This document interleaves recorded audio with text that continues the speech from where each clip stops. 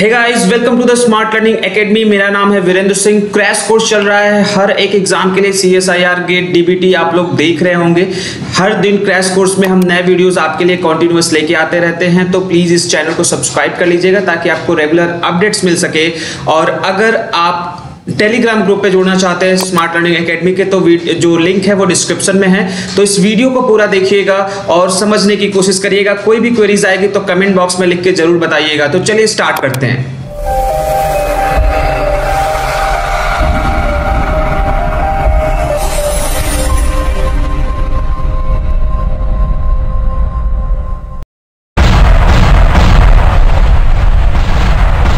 Now this is the cell biology cell biology में कल कुछ चीज़ें डिस्कस कर चुका था ऑलरेडी मैं उसी के हिसाब से आगे मूव करूँगा। कल का रिवीजन करके आए हुए हैं आप लोग सेल बायोलॉजी? कल का अगर रिवीजन करके आए होंगे तो अच्छी बात है नहीं रिवीजन करके आए हैं तो भी मैं एक क्विक रिवीजन लेके चलूँगा। Good evening Vivek good evening to all of you देखिएगा सेल साइकिल में मैंने ये डिस्कस कर दिया था कि जीवन फ़ेज़ में जो होता है वो आपका जीवन फ़ेज़ में मेटाबॉलिकली एक्टिव होता है। किस फ़ेज़ में हिस्टोन की सिंथेसिस होती है? हिस्टोन प्रोटीन की सिंथेसिस किस फे, किस फ़ेज़ में होती है? एस फ़ेज़ में होती है। ट्यूबुलिन प्रोटीन की सिंथेसिस किस फ़ेज़ में होती है? ट्यूबुलिन प्रोटीन की सिंथेसिस जी टू फ़ेज़ ये सारी चीज़ें मैं ऑलरेडी डिस्कस कर चुका था। G one phase S phase G two phase M phase ये फॉर्म मैं आपको डिस्कस कर चुका था already G one S G two के बारे में। उसके बाद हमने डिस्कस किया था सेल डिवीज़न के बारे में N N naught two two power N ये सारी चीज़ें। सोमैटिक सेल्स एसिमेट्रिक सेल्स और सिमेट्रिक डिविजन में कैसे चलता है, ये डिवीज़न डिस्कस कर चुका था। सेल डिवीज़न में मैंने आपको बताया था एसिमेट्रिक में लास्ट में सिर्फ़ एक ही बचता है। Monopotency multi pluripotency totipotency discuss कर चुका था, ये चीज़ें डिस्कस कर चुका था, कैसे आपका डीएनए कंटेंट वेरी कर रहा था और कहाँ पे जाके वो फोर सी टू हो रहा था। फिर मैचुरेशन प्रमोटिंग फैक्टर में मैंने कोड्स के फॉर्म में ये बता चुका था, कहाँ कहाँ पे कौन कौन से जो होते हैं इन्वॉल्व होते हैं, जैसे जीवन फ़ेज़ में जो इन्वॉल्व होता है। अगर मैं यहाँ पे बात करूँ सो यू कैन सी कि जीवन फ़ेज़ में जो इन्वॉल्व हो रहा है, यहाँ पे जीवन फ़ेज़ में सी डी सी डी के फोर्टी सिक्स साइक्लिन डी होता है, फिर टू ई इन्वॉल्व होता है, फिर टू ए फिर वन ए और वन बी इन्वॉल्व होता है। आपके ऑर्डर्स होते हैं, ठीक है? उसके बारे में अगर मैं बात करूँ तो ये क्विक रिवीजन के साथ साथ मैंने माइटोसिस भी डिस्कस कर दिया था prophase metaphase anaphase telophase cytokinesis prophase metaphase anaphase telophase cytokinesis prophase में क्या हो रहा था? प्रोफेज में जो हो रहा था न्यूक्लियर मेम्ब्रेन जो हो रहा था, वो डिसअपियर हो रहा था। न्यूक्लियर मेम्ब्रेन डिसअपियर होता शार्टनिंग ऑफ़ द क्रोमोजोम हो रहा था। क्रोमोजोम की शॉर्टनिंग हो रही थी। मेटाफेज में वो मेटाफेजिक प्लेट पे इक्वेटोरियल प्लेट पे अरेंज हो रहा था with the spindle fibre spindle fibre से। Very good evening Suchand and welcome to the class and anaphase के बारे में बात करता हूँ। एनाफेज के बारे में बात करेंगे। Separation of the sister chromatid होता है। अपोजिट पोल की तरफ़ सेपरेट हो रहे होते हैं। अपोजिट पोल की तरफ़ सेपरेट हो रहा होता है। अगर एनाफेज के बारे में बात कर रहे थे तो। क्या था कि पहले वो क्रोमेटिन के फॉर्म में था। क्रोमेटिन में वो कंडेंस हुआ। कंडेंस होकर क्या? क्रोमोजोम के फॉर्म में आए। क्रोमोजोम के फॉर्म में अब वो इक्वेटोरियल प्लेट पे अरेंज हुए। इक्वेटोरियल प्लेट पे अरेंज हुए, ठीक है? इक्वेटोरियल प्लेट पे अरेंज होने के बाद अब ये स्पेंडल फाइबर से अटैच होके एनाफेज में क्या हो जाएँगे? एनाफेज में सेपरेट होने लगेंगे, दो अपोजिट पोल सिस्टर क्रोमेटिड्स जो होगा अपोजिट पोल की तरफ़ मूव करने लगेगा। ये चीज़ें मैं ऑलरेडी कल तक डिस्कस कर चुका था और टीलोफेज में क्रोमोजोम जो होगा फिर से रीच करेगा अपोजिट पोल पे रीच कर जाएगा और साइटोकाइनेसिस बिगेन हो जाएगा। साइटोकाइनेसिस जो होता है, किसकी वजह से होता है? वो स्पिंडल फाइबर की वजह से होता है। स्पिंडल फाइबर जो होता है स्पिंडल फाइबर की वजह से होता है साइटोकाइनोसिस और स्पिंडल फाइबर में भी जो जो प्रोटीन ज़्यादातर इन्वॉल्व होता है यहाँ पे। एक्चुअली कौन से प्रोटीन इन्वॉल्व होते हैं? एक्टीन और मायोसिन एक्टीन और मायोसिन मिलके ही यहाँ पे एक एक्टीन मायोसिन मिल, मिलके ही ये साइटोकाइनेसिस का फिनोमेना यहाँ पे होता है। एक इनहिबिटर होता है जो कि साइटोकाइनेसिस को इनहिबिट कर सकता है, जिसको बोलते हैं साइटोकैलेसिन बी साइटोकैलेसिन बी होता है, जो कि साइटोकाइनेसिस का इनिबिटर होता है। कॉन्ट्रैक्टाइल रिंग का जो फॉर्मेशन होता है, वो एक्टीन फिलामेंट के थ्रू होता है, जैसा कि मैंने आपको बताया। कॉन्ट्रैक्टाइल रिंग यहाँ पे फरो बनता है, फरो का इंग्रेशन होता है और सेपरेशन हो जाता है। दिस इज़ द माइटोसिस ये चीज़ मैं डिस्कस कर चुका हूँ। डिस्कस कर चुका हूँ यहाँ तक, आगे मूव कर रहा था मैं। इसके बाद मियोसिस के बारे में बात करने की कोशिश करते हैं। मियोसिस दो तरीके के होते हैं। मियोसिस में दो डिविजन होते हैं, एक फ़र्स्ट, एक second. Meiosis first and meiosis second. Meiosis first is a reductional division. कैसा डिवीज़न होता है? It is a redux second is equatorial division यहाँ पे क्रॉसिंग ओवर होता है। यहाँ पे क्या होता है? क्रॉसिंग ओवर होता है। क्रॉसिंग ओवर मतलब दो किस, कुछ पार्ट सिस्टर क्रोमेटिड के होमोलॉगस क्रोमोजोम के चेंज होते हैं। और यहाँ पे अगर क्रॉसिंग ओवर होता है तो इसको एक और नाम देते हैं, जिसको बोलते हैं रिकॉम्बिनेशन माइटोसिस में कोई भी रिकॉम्बिनेशन नहीं होता। रिकॉम्बिनेशन जो होता है वो कहाँ पे होता है? वो होता है मियोसिस में। रिकॉम्बिनेशन की बात मियोसिस में होती है माइटोसिस में नहीं होती है। ठीक है? जैसे कि फॉर एग्ज़ाम्पल स्पैटो स्पर्मेटोगोनिया में जैसे स्पर्मेटिड बनता है तो वहाँ पे देखिएगा स्पर्मेटोगोनिया में क्या होता है? यहाँ पे टू एन टू सी का कॉम्बिनेशन होता है। दो नंबर क्रोमोजोम है, दो कॉन्सेंट्रेशन डीएनए है। और उसके बाद जैसे ही एस फ़ेज़ से जाएगा, देखिए कॉन्सेंट्रेशन डीएनए का डबल हो गया टू सी से फोर सी क्योंकि रिप्लीकेशन हो गया है। रिप्लीकेशन के बाद अब मियोसिस में जाएगा। मियोसिस फ़र्स्ट में।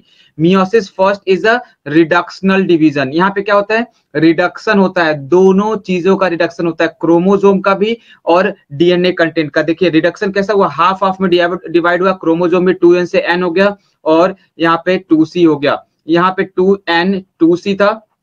दोनों टू सी था, या एस फ़ेज़ के बाद रिप्लीकेट होगा टू एन फोर सी के फॉर्म में, जब आपका प्राइमरी फ़ेज़ चल रहे होते हैं growth phase G one S G two तक, जैसे ही वो मियोसिस फ़र्स्ट में जाता है, दोनों का रिडक्शनल डिवीज़न होगा एन सी ये क्या है? फ़र्स्ट मियोसिस है reductional division N two C और उसके बाद फिर आ जाएगा इक्विटोरियल डिवीज़न यहाँ पे सिर्फ़ डीएनए हाफ़ होगा।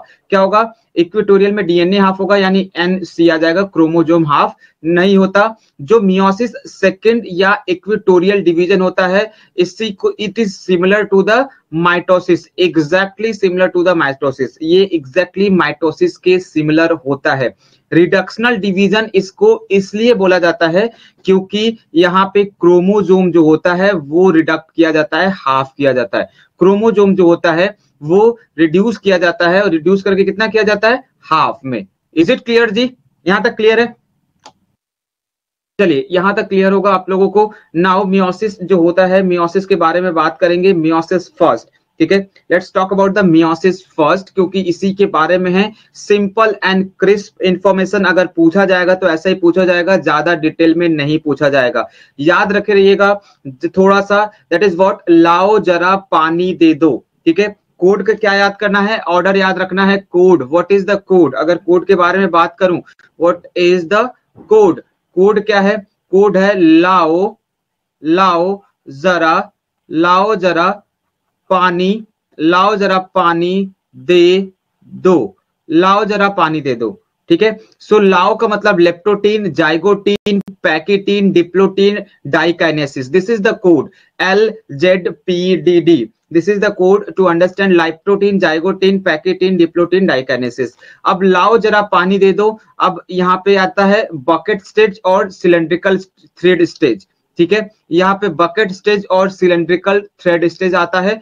जाइगोटीन में जो बनता है सिनेप्टोनिमल कॉम्प्लेक्स बनता है और बाईवैलेंट या टेट्राड एनालिसिस या टेट्राड स्ट्रक्चर बनता है। ठीक है? बाईवैलेंट बनता है या टेट्राड अब सिलेंड्रिकल थ्रेड स्टेट मतलब थोड़ा सा कंडेंसेस होगा। बाईवैलेंट का मतलब बाईवैलेंट के फॉर्म में देखने की कोशिश करिएगा इस तरीके से। That is what bivalent bivalent का मतलब है या तो चार टेट्राड जो बोला जाता है, वो सिस्टर क्रोमेटिड को लेके बोला जाता है। टेट्राड जो बोला जाता है, वो किसको लेके बोला जाता है? सिस्टर क्रोमेटिड को लेके बोला जाता है। और बाई वैलेंट इसलिए बोला जाता है, दो क्रोमोजोम को लेके बोला जाता है। जब क्रोमोजोम को लेके बोलेंगे तो उसको बोलते हैं बाई वैलेंट और जब सिस्टर क्रोमेटिड को लेके बोलेंगे तो चार सिस्टर क्रोमेटिड होते हैं, इसलिए उसको बोलते हैं टेट्राड। इज़ इट क्लियर कि टेट्राड वर्ड यूज़ किया जाता है सिस्टर क्रोमेटिड को लेके? और जब बात करते हैं हम किसके लिए? कि क्रोमोसोम के बारे में बात करेंगे सिंगल क्रोमोसोम तो उसको लेके हम दो क्रोमोसोम होते हैं। एक होमोलॉगस ओरिजिन का होता है और एक ओरिजिनल होता है तो वो होता है बाइवेलेंट नाउ ये काम होता है बाइवेलेंट टेट्राड का कहाँ पे? ये होता है जाइगोटिन में.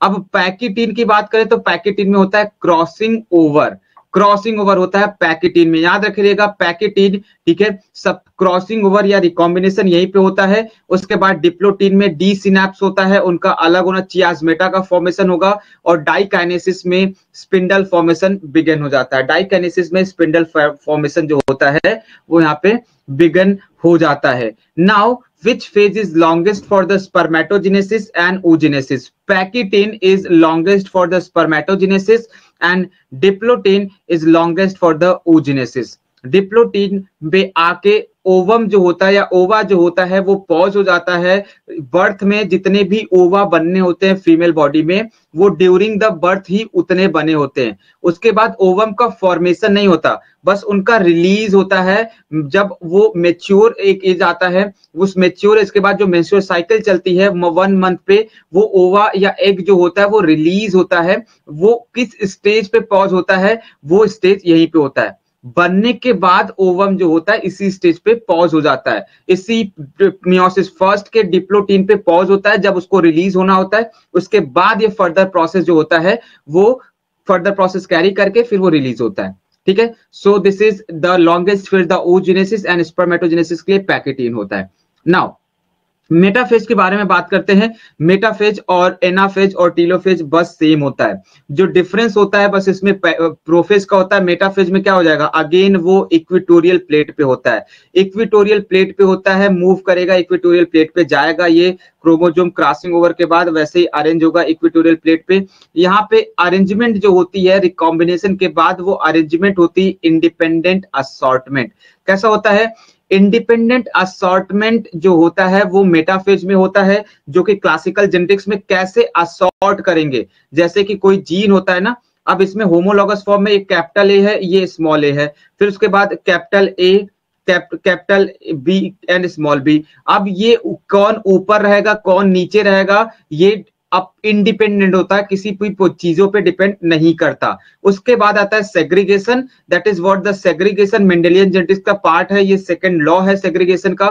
दैट इज़ व्हाट एनाफेज में होता है separation of the sister chromatid sister chromatid का सेपरेशन होगा टीलोफेज में।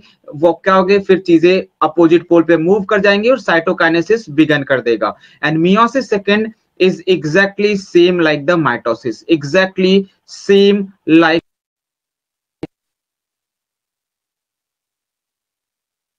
चीज़ें प्रोफेज मेटाफेज एनाफेज टीलोफेज यही चार फेजेस होते हैं। प्रोफेज में न्यूक्लियर कंडेंसेशन जो होगा nuclear condensation nuclear membrane disappear हो जाएगा।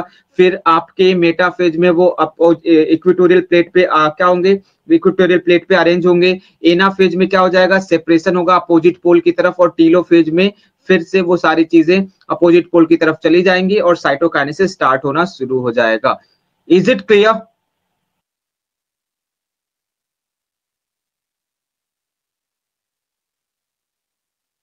नाउ एक कॉन्सेप्ट आता है जिसको बोलते हैं मियोटिक नॉन डिसजंक्शन का। एक कॉन्सेप्ट बोला जाता है मियोटिक नॉन डिसजंक्शन का। ये क्वेश्चन हालाँकि C S point of view से इंपॉर्टेंट ज़्यादा होता है, लेकिन गेट में भी पूछा जा सकता है कि अगर जो क्रोमोजोम है, वो डिसजंक्शन हुआ, उसका जो सेपरेशन है, वो हो ही ना। ठीक है? वो जो सेपरेशन है, वो हो ही ना, एक साथ ही रह जाए। अगर मियोटिक नॉन डिसजंक्शन फ़र्स्ट के साथ होता है मियोसिस फ़र्स्ट में अगर ये मियोसिस फ़र्स्ट में होता देखिएगा, ये पूरा का पूरा क्रोमोजोम एक ही में रह गया तो एक बनेगा एन प्लस वन और एक बनेगा एन माइनस वन इसके बाद मियोसिस सेकेंड होगा। ये है क्या? ये पार्ट है मियोसिस फ़र्स्ट का। जब मियोसिस फ़र्स्ट के बारे में बात करेंगे मियोसिस फ़र्स्ट और ये पार्ट है मियोसिस सेकेंड का। तो मियोसिस सेकेंड में जब बात करेंगे तो मियोसिस फ़र्स्ट में अगर नॉन डिजेक्शन हुआ तो n plus one n minus one और फिर हाफ़ हाफ़ बनेगा एन प्लस वन और n minus one half half बनेगा जब फ़र्स्ट में होता है। जब सेकंड में होगा तो यानी फ़र्स्ट वाले में दोनों में एन एन होगा। यहाँ से ये टू वन आया था मियोसिस फ़र्स्ट में रिडिक्शनल डिवीज़न हुआ एन बन, एन बना। अब इसके बाद एक में किसी में नॉन डिजक्शन हुआ जैसे कि इसमें तो ये एन प्लस वन हो जाएगा और एन माइनस वन हो जाएगा। बाकी जो नॉर्मल है वो नॉर्मल एन और एन में रहेगा। मियोसिस सेकेंड जिसको बोलते हैं equatorial division so as a summary अगर मैं बात करूँ एज ए समरी बात करूँ तो यहाँ पे मियोसिस फ़र्स्ट में अगर सेग्रीगेशनल डिवीज़न होता है तो दो बनते हैं एन प्लस टू और एन माइनस वन बनते हैं एन एन प्लस वन दो बनते हैं और एन माइनस वन दो बनते हैं। और अगर यहाँ पे सेकंड में मियोसिस सेग्रीगेशन हो रहा है तो एक बनेगा एन प्लस वन एक बनेगा एन माइनस वन एक बनेगा एन माइनस वन और दो बनेंगे N is it clear N.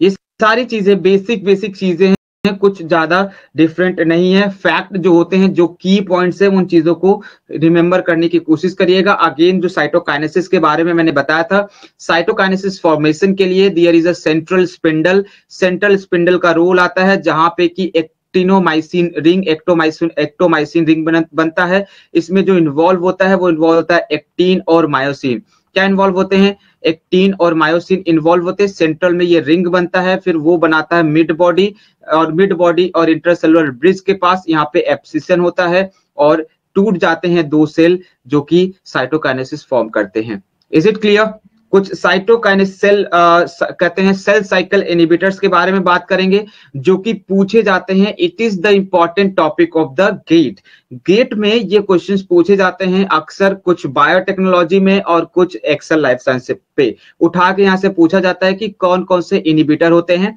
तो इनिबिटर होते हैं that is what the VVC VVC के बारे में बात करेंगे तो vincristine vinblastine colchicine, ये तीन इनिबिटर्स होते हैं। That is vincristine vinblastine और कॉल्चिसिन, ये तीन होते हैं जो कि पॉलीमराइजेशन को इनिबिट करते हैं। किसको इनिबिट करेंगे? इनिबिट करते हैं पॉलीमराइजेशन को इनिबिट पॉलीमराइजेशन किसकी पॉलीमराइजेशन ट्यूबुलिन का। किसका? ट्यूबुलिन पॉलीमराइजेशन ट्यूबुलिन पॉलीमराइजेशन का यूज़ करते हैं सेल साइकिल इनिबिटर है। और एक और होता है जिसको बोलते हैं taxol taxol inhibit the depolymerization of the tubulin. Inhibit the depolymerization of tubulin. Inhibit जो होता है, वो डी पॉलीमराइजेशन टैक्सोल जो होता है depolymerization of the tubulin, इसको इनबिट करता है। इज़ इट क्लियर होप कि आपको ये वीडियो पसंद आया होगा। अगर पसंद आया तो please do like and share with your friends क्योंकि मैं जितना हो सकता है, मैं इतना आपके लिए कर रहा हूँ, और आप भी अपने फ्रेंड्स के लिए शेयर करिए, ताकि वो भी इन चीज़ों से लर्न कर सके। अगर आपको डेफिनेटली पसंद है तो do like share and subscribe मिलते हैं आपसे नेक्स्ट वीडियो में। All the best and till then bye take care